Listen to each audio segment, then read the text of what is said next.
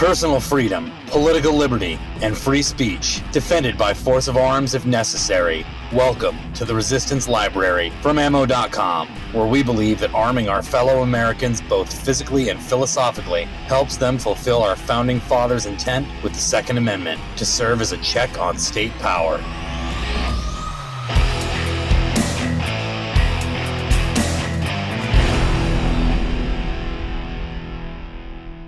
Hello, everyone. This is Dave Trillo with the Resistance Library podcast. Now, before we dig in today's subject, I'm going to read you a little poem. well, I don't know where they come from, but they sure do come. I hope they come in for me. And I don't know how they do it, but they sure do it good. And I hope they doing it for free. They give me cat scratch fever. Sam, what do you think of that one? Um, that is like so. There's going to be a lot of me and my personal relationship with Ted Nugent in this. Uh, but that is the first Ted Nugent song that I ever heard as a kid. Uh, one of the first songs I learned how to play on guitar when I was a kid. Um, I love Ted Nugent. I think Ted Nugent is just an absolute national treasure. Um, you know, well, we'll get into some of the weird stuff about Ted Nugent later. Um, but one thing I, I just want to lead with because I'm I, I, mostly because I don't want to forget it. Um, did you know that Ted Nugent was a big influence to bands like Black Flag uh, and particularly Minor Threat, who loved him because he famously has never drank or done drugs in his life. He's really? just weird. He doesn't do anything. He's just weird. He doesn't he doesn't drink or or do any kind of that stuff. Nothing. Him and him and Gene Simmons, you know, are like the two big nope, don't do drugs, don't drink, don't smoke cigarettes, uh, just get high on rock and roll kinds of guys. Um, and I think that is one of the coolest things about him. But, you know, curiously, like in the kind of like, you know, pre both the you know the the sort of like New York Dolls to Ramones period of American rock and roll, and also in the sort of you know formative years when American punk rock is changing up and becoming what would later be called hardcore. Um, there wasn't like a ton uh, for for you know the musicians of that time to draw on that was recent um, because like for you know the people mention stuff like Bowie and Bowie was people liked him but he was too weird. Um, there was Lou Reed, you know, but there was but that was kind of and the Dolls and that was kind of and the Dictators. And I'm sure that I'm leaving somebody out, but that was kind of it. So you had to, it wasn't like if you were in one of these early punk rock, early hardcore bands that you could just like listen to bands that were also punk rock or hardcore bands because there just weren't enough of them. And, and things were kind of as you know siloed and segmented as they later became anyway. Um, but yeah big favorite of a lot of those guys was ted nugent. And if you go back and listen to it it's you know it's it's heavy but it's unpretentious. Um, it's got that kind of like boogie swing of original 50s rock and roll to it. Um, and that's a train going by because for once I'm not out in the middle of the woods. but you know, that's I think I think that like all all the things I just said, the punk connection notwithstanding, I just find that interesting and kind of weird because you know I could give you all day to name people and you probably wouldn't pull Ted Nugent out as as a guy who had a huge influence on early American yeah. hardcore well, it's, bands. It's interesting you mentioned Lou Reed because that's more music you would nod off to while you're doing heroin.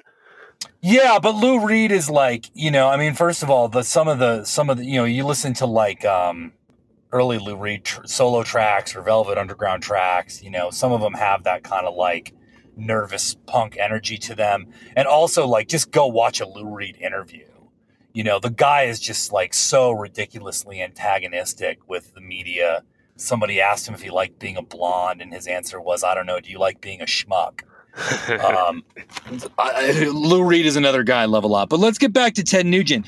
So Ted Nugent, conservative uh, rock star, there's not very many in the world. Ted Nugent may be the most prominent um, and probably also the most conservative because a lot of other like you know people that you could pull out as conservative rock stars like say Gene Gene Simmons it, it's like it's less that they're ideologically conservative it's that like conservatism in the Republican Party is sort of the home now for people who have common sense um, a short fuse for tolerating bullshit and you know, who are into like sort of free speech and live and let live and um, that kind of thing.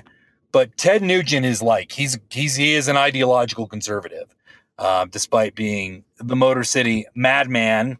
He's the third or fourth kids from Red Redford, Michigan.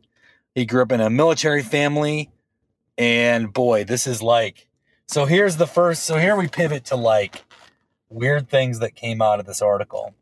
So I'm like, you know, celebrating Christmas and I get an email that's like, hey, somebody at Ted Nugent headquarters wants to talk to you. Uh, Ted wants to talk to you. Whoa. Yeah, it never ended up happening. Oh. Um, and the bummer version of it is that I don't think that he, I think that he was like mad at me because um, Ted Nugent did not serve in the Vietnam War.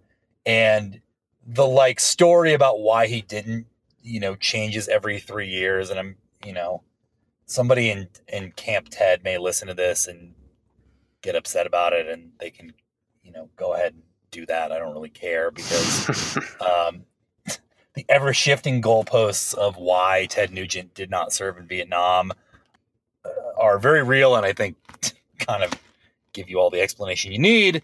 Uh, but you know, whatever. So He's now a member of the United States Marshals Fugitive Felony Task Force. I don't know how that came to be. I kind of wish I did right now. Um, getting back to his his musical career, um, I actually was also a big fan. A few years later, after you know my first experience of hearing Cat Scratch Fever on WAAF, um, the only station in Boston that really rocks, even though their transmitters in Worcester. But a few years later, I got into, you know, kind of like um, early psychedelic rock and like, you know, garage, what they call garage punk and stuff like that. Um, Ted was in a band called the Amboy Dukes, who absolutely smoke. Um, and their hit that you may have heard was Journey to the Center of the Mind that if it's not about dropping acid, then I don't know what the hell it's about. But it's certainly not to Ted, who, as we mentioned, um, is one of the most notoriously sober rock stars going. Uh, was cited as the, one of the main ins- inspirations for the straight edge movement, and boy, he may have he, felt like he just had to sing about that subject back then. I don't think he was the I don't think he was the singer of the Amboy Dukes. Because huh. that's another thing that's weird about Ted Nugent is like, can you think of another band that or another solo act rather, hmm. where the solo act is not the singer? Because I can't. Right? So there's bands. You've got, you know, Van Halen, Santana. There's yeah. probably other ones that I'm thinking of. The only ones that I can think of are are like 80s shred acts like Joe Satriani, but there's no singer. Yeah, yeah, with no singer, that's the problem. I mean, I'm sure Yo Yo Ma did some opera concerts where he was a headliner, but that's about the best I can come up with. Yeah, right. So you can't think of like another another rock band that's a solo act, but the solo act is the guitar player, not the lead singer. Like I can't think of one. And if you and it and the and the amount of time that we'll spend sitting here, like oh I don't know, yeah, like, uh, yeah, listeners at home, tweet like your answer to your local congressman. and like even Van Halen, it's like it's a band. First of all, there's two two or three Van Halens in the band. You know, Santana, it's clearly a band because it's not Carlos Santana. Um, I can't think of one. Can't think of one other than Uncle Ted.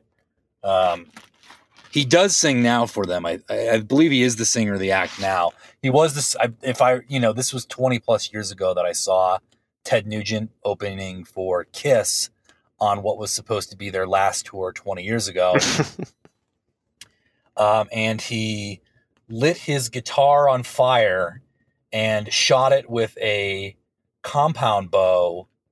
And before firing the bolt from the bow, said, I want to see Ted Kennedy try and take this one away from me.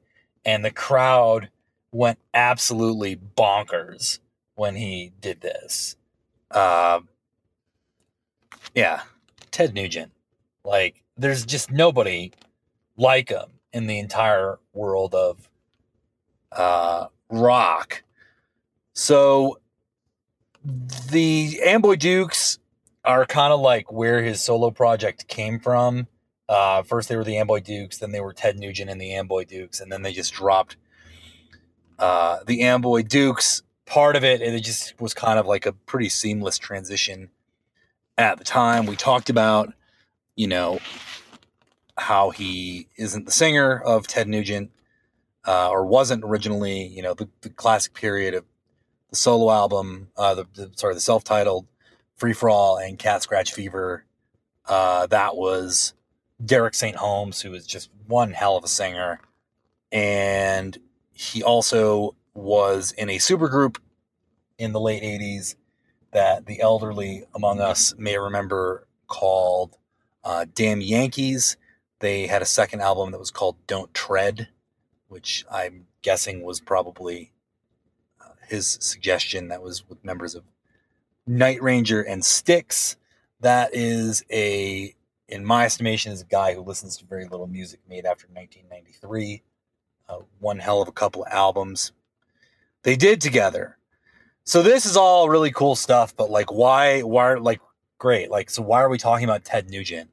Um, because he's not just a conservative; he's a very outspoken conservative and he is an advocate for the Second Amendment and a conservationist, a big supporter of President Donald Trump and Sheriff Joe Arpaio, and he is on the board of the National Rifle Association. So, I mean, did you know any of this about Ted before we did this? I knew he was conservative. Uh, he pisses off a lot of the right kind of people. I never looked into exactly why but I just knew he was probably the most famous musician who actually dares say something that wouldn't be supported by the teachers union. And uh, I guess I've always been interested in just what he's done to evoke so much ire. Yeah, I mean, I think that like um like you said, he's got, you know, opinions that aren't acceptable to the teachers union, I think is a really um succinct way of putting it and also like the understatement of the year he, you know, so Kid Rock shot a mountain lion, and uh, Kid Rock actually is probably his like successor as yes, he's know, held Trump rallies. Most pro- he sells T-shirts on his website that say "God, Guns, and Trump." Uh, so I think Kid Rock is kind of the like you know maybe we maybe I should put it the other way. Ted Nugent is kind of the Kid Rock of you know the '70s and the '80s but yeah, I mean, Ted Nugent came to Kid Rock's defense after he was criticized for shooting a mountain lion. Um, he, he has a wildlife preserve. People call it canned hunting. I'm not going to wade into that debate because I just don't have the like you know expertise to determine it one way or the other. But I will say that it's 340 acres.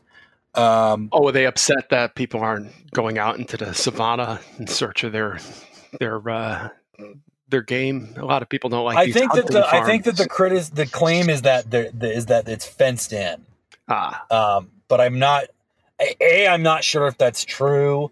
B, I'm not sure at what point does uh, like wh- how much land do you need before it's not canned hunting? You know what I mean? Like how how much open land do you, or, or or is any amount of fencing is not appropriate? I don't know. I mean, somebody else can answer it. Um, you know, I, I am not in favor of shooting fish in a barrel, but it's not clear to me that that's what this is. But I, I it's above my pay grade. He talks about running for public office. In his words, he threatens to run for public office, which I think is a hmm. good way of putting it. Um, he's talked about running for governor of Michigan. uh, both in 2006 and 2010. The Illinois Republican Party uh, attempted to recruit him as a candidate for Senate in 2004 because I guess he's originally from Illinois. So I doubt he'll ever do it. I mean, he's kind of old now, and I don't know that he would, frankly, be the best candidate. And I think that he's better off, you know, being great Gonzo out in the wild than, um, you know, forced into the uh, domestic life of a politician. Yeah, who would want that? I know it's weird. It's like when people talk. Yeah, yeah. I mean, I just I don't understand why any sane human being would want to run for public office in this country. His policy solution he mentioned to Imagineer magazine in 2010. I would fire every government worker whose job I would deem to be redundant and wasteful. No able bodied human being would ever get a handout again. Neat. Yeah, he's in some ways like really this, you know, th- throwback to like Archie Bunker type shoot from the hip style of conservatism. You know, they called George Bush the compassionate conservative. I think Ted Nugent is the uncompassionate conservative, um, which, you know, good for him. He talked about running for president in 2016. I'm guessing that that didn't materialize because uh, another, you know, celebrity candidate um, made his presence known during the 2016 election. And I don't remember how he did, but if somebody does, they can, you know, fill us in. He, this is the thing I like about him. And I, and this is like a thing that I like about, you know, entertainers in general, regardless of, of, of their political persuasion or even like the style of music that they play. He has said repeatedly that every gig he plays is the most important of his life. And I only saw him the one time, and it was, you know, 20 plus years ago. But I don't doubt it because I think that he just has this like level of intensity that he brings to everything that he does. I think it's probably why he's such a skilled um, guitar player because I think that he just has this extremely driven um, mindset. I think it's why he never touched drugs because I think he just thought that that was like a distraction and, you know, would dull him in his pursuit of being like, you know, a, guitar perfectionist. Um, I think it's also why he doesn't run for public office, despite the fact that I'm sure that that gnaws at him. Um, because I think that it's just, you know, he, if he's not going to be able to do it exactly perfectly. He doesn't want to do it at all. So, and I think that that goes to his um, his passion for hunting and weapons and survival. I mean, he claims that he could survive forever bare naked in the woods. Uh, if, which you know, I don't doubt it. Uh, I would not want to get into a fight with Ted Nugent, and he's like seventy years old he's big big fan of the 10 millimeter, which I am as well. So we've got that in common. You know, the question Ted Nugent really begs is like I can list all the celebrities who are publicly conservative. I mean, you got James Woods, you got Chris Pratt, Gene Simmons, like you mentioned, Ted Nugent, and honestly, none other come to mind. It, why have artists monopolized or why has liberalism monopolized artists why are there so few exceptions to the rule that they're all going to go on uh, on the view and endorse you know tulsi gabbard and is it just because the media wouldn't give a platform to the very few conservative celebrities is there something about being artistic that inclines one to to vote dem i mean what what is the uh, underlying mindset of the artist here that has given us so few conservative rock stars and actors? Well, I think that, you know, I mean, first of all, the whole like, I mean, if people remember four years ago that there was like, you know, Hollywood was threatening to like not make movies if Donald Trump was elected president. It's like, oh, cool. So that means for the next four years, the only people making movies are going to be, you know, Kurt Russell, um, Jon Voight, Clint Eastwood, Vince Vaughn, and Mel Gibson. Oh no, don't punish me, please. Uh, I don't know. I So- saw the mule, and that put me to sleep. If, people at home, if you want to watch Clint Eastwood driving a truck for 90 minutes, go watch the mule. Man, I, that actually sounds really good to me. Uh, but yeah, I think first of all, there's more of it than you think. I think that second of all, there's probably even more that we don't know about because people keep their head down and just play the game. I mean, I have a friend who I won't give too many details on, but who's very famous. He's well, he's internet famous, you know, which is like reasonably famous um, and he just plays the game. And I know what his real beliefs about the world are, and how much at variance they are with the image that he projects to the world around him. And I don't fault him for it one bit. Hmm. Um, So there's more of them out there than we would expect, suspect. probably a lot of that going on. Um, I also think that, yeah, to a certain extent, it does select for um, a certain personality type. Yeah. Though I don't think that, that personality type is necessarily um, liberal or left leaning. I think actually the personality type that it tends to select for now is compliant. You know, uh, but I think that in earlier ages where you know where the entertainment and industry and the media ecosystem uh, and the playing field of ideas were not so rigidly and rigorously controlled. You had people who were, you know, much more just sort of open to new ideas was the thing that was being selected for. And I think the thing that they select for now is much more ideological compliance. Um, three people that kind of ran through my head while we were talking about this is Salvador Dali, who most people don't know was like a gi- a rabid supporter of Francisco Franco in Spain. Huh. Um, you know, just as a for instance, uh, you know, Ezra Pound was like jailed by the Allied forces when they arrested him in Italy because he'd been giving radio addresses in, support of Mussolini. And I think that Ezra Pound is probably the greatest poet of the last hundred years, and that Salvador Dali is maybe like the best painter in human history.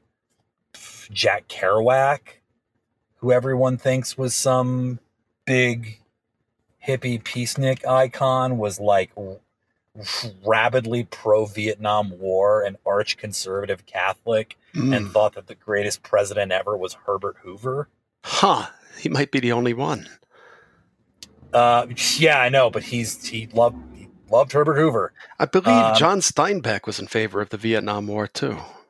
Steinbeck was a Steinbeck supported the Vietnam War. Um, John Dos Passos was a disgruntled socialist who voted for Richard Nixon. Um, I mean, there's a lot more of them than you think, especially when you start kind of detouring out of like recent pop culture. I mean, I don't, I don't think we have to go back to like the French Revolution or anything here. I think that there's like plenty of Titanic figures from 20th century pop culture or you know the arts and literature who are ideologically conservative to like sort of embarrassingly right wing like Ezra Pound and his love of you know Mussolini here's a weird one Eric Clapton's politics are like sort of are like sort of fascist Huh. um yeah I, I never heard those undertones in his music. Yeah eric clapton is like a I, I i i don't this is not a word that i throw around but like eric clapton is a racist. He's like an open ideological racist um and has no trouble saying it you know? So uh, especially when you, which is like surprising to a lot of people particularly given his love of like, you know, blues music and everything. And I'm not like holding these people up as, you know, paragons of virtue and ideological rigor or, you know, anything to be emulated.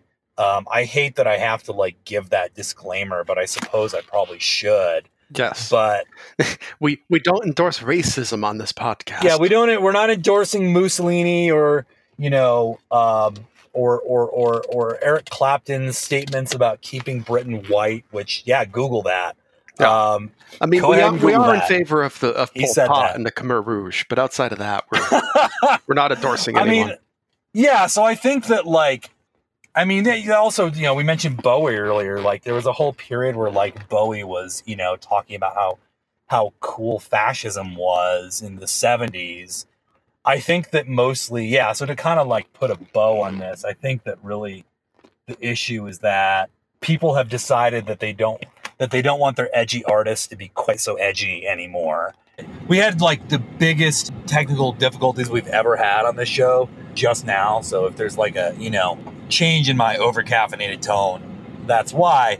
But so I think that like the main thing is that people have decided that they don't want their edgy musicians and entertainers to be quite so edgy anymore or you know the powers that be have decided that anyway. And then i think that it's basically like not because you know who's the who's the like far left entertainer you know or band or whatever? Like there's there's there, there aren't any. They have these like you know absurd uh social liberal positions but like no one is you know there's not like a rock band that's like let's bring out the guillotines in on wall street and start sticking you know billionaires heads on pikes no, um but there is a market for that kind of music. There must be some underground bands calling for you know impaling Ed Meese. Yeah, and I'm sure that there I'm sure that there are just as there are, you know, like bands that are on the uh, you know, and entertainers and whatever that are sort of more I mean Vincent Gallo is like another Vincent Gallo loves Donald Trump. He loved George W. Bush. Um I love Vincent Gallo.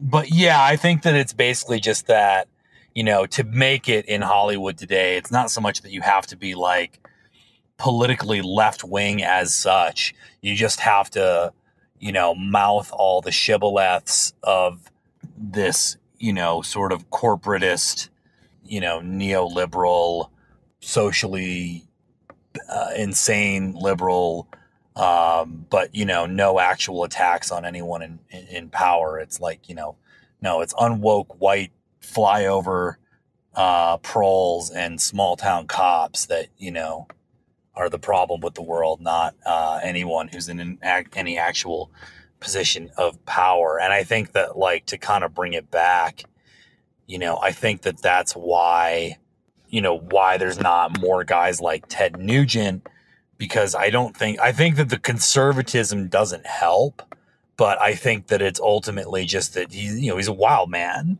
He's a crazy, he's a crazy person. I mean that in the best possible way you know like he's he's he's a little different than his just the way his head works is a little different than most people. And it touches you know the stuff i was talking about earlier about just how driven and everything he is um, it's part of that. You know the normal average person walking around the world today is not like driven to become the world's best guitar player and treating a uh, you know gig in front of 150 people at the kenosha fair as it's the most important gig he's they've ever played in their lives and i think that yeah like the thing that our entertainment selects for now is is is is people that are much more conformist where in the 60s when he was coming up it was a bit more of a a bit more of a wild west thing. I mean he makes like lots of pretty crazy statements which again like I'm not saying they're crazy, like, and it's a bad thing. I'm, you know, it's like I like I like that about him. I think that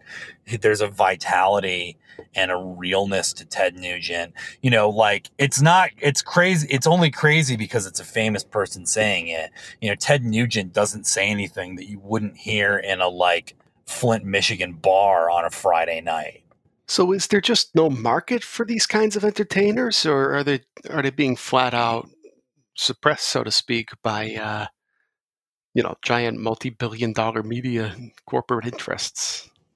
Um, I think that there's a I think that there's a market for them, but I think that you know there's a lot of what the public is given in terms of its its corporate media is not what they actually want. It's what they're being told that they're going to um, listen to or watch or whatever, and that there's not really a you know conservative um, pole of attraction in popular culture anywhere. I mean, there's like the the kind of like handfuls that we're talking about, but they're conspicuous because they're so because they're outliers. Yeah. You know, Ted Nugent is con- if if there was like a sort of counter recording industry that was for you know red America um t- that was that was actually like a real thing that that people listened to and that was a sort of counterweight to Hollywood. You know, I don't think that Ted Nugent, I mean, Ted Nugent would still be prominent because he's like, he's been around for 50 years.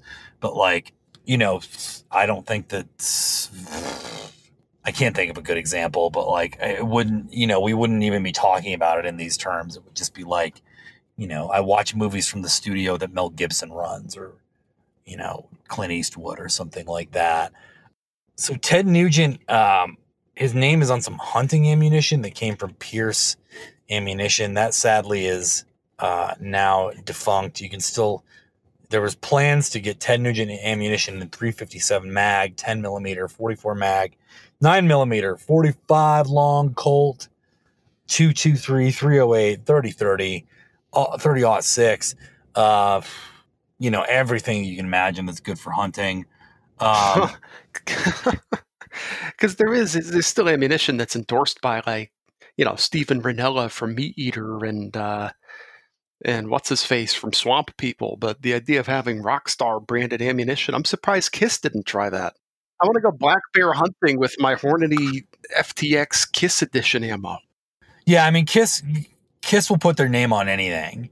And I, I'm I'm right there with you because I would think that there'd be a lot of um, you know people who would be into buying Kiss ammo, myself included. So I, I, I love I this. want Dead Kennedys brand uh, Carcano ammo. I wouldn't hold my breath for that, but I, I love the quote. So there's a quote from Ted Nugent in the uh, press release for this ammo that you know you can't get anymore and we're I'm gonna quote it verbatim because I love it, and it's like it's it's it's just it's so Ted, it's so Uncle Ted. It was psycho babbler Abraham Maslow who wrote of the phenomenon of self actualization. What Maslow failed to grasp is that reaching true self actualization can only be ultimately achieved when you have your own brand of ammunition. yeah. Great. Killer. Um, in the article, I mentioned two other people who were, you know, uh, conservative uh, rock musicians that we didn't mention before, and that was uh, Elvis Presley, who famously met with Richard Nixon um, because he wanted to like bust drug users in the rock scene in the late '60s, which is funny for a lot of reasons. One of which is that he was he was doing so many drugs. and the other of which is that like how many rock musicians was Elvis hanging out with in the late 60s? You know, like um and Johnny Ramone.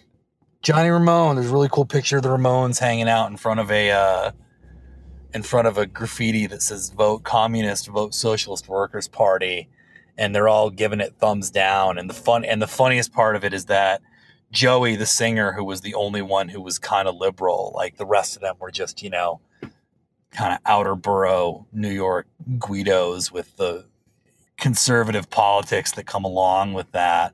Um, but Joey was the liberal, and and Joey's kind of like less enthusiastically giving it a thumbs down. Um, but yeah, G- Johnny Ramone used to wear a "Kill a Commie for Mommy" T-shirt all the time, and people would like in interviews go, "Aha, that's funny," and he's like, "It's, it's not a joke. I'm not wearing this as a joke." Yeah, Um, I'm just trying to picture Taylor Swift doing the same thing. Yeah, Taylor Swift is a bummer because she was like, you know, she was an icon for a lot of reasons, and then kind of, you know, decided that the, the the woke bucks were uh where it was at, and you know, good for her. I'm never going to uh never going to fault anyone for Yeah. Well, I mean, getting that was money, player. Surely her her her agent's whole uh, whole idea. I mean, the girl probably had a huge amount of influence on her public image. I'm sure, but someone told her to uh, kind of jump ship, so to speak.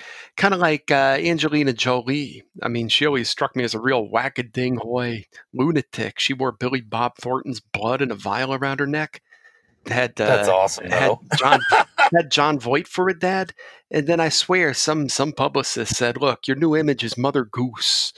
You're going to uh, disavow all that stuff and adopt uh, adopt the Planeteers and and get all your organs removed, and you're going to be uh, beloved." Yeah, I, I, I mean, I think that this all kind of uh, speaks to what I was talking about earlier. That like people just people slash the powers that be, because I don't think that it's a, you know, I do think that it's a kind of like bi-directional thing that there's interplay between both what the market wants and what the market's given. You know, there's just not like we don't have edgy entertainers anymore.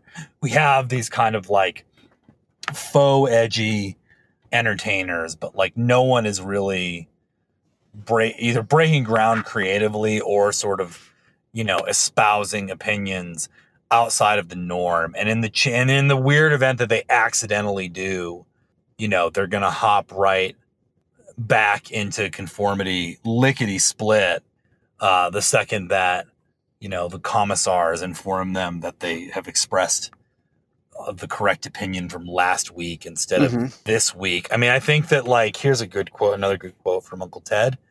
I'm not in the leftist controlled rock and roll hall of fame because of my political views, primarily my lifelong militant support of the NRA, the Second Amendment, and my belief that the only good bad guy is a dead bad guy.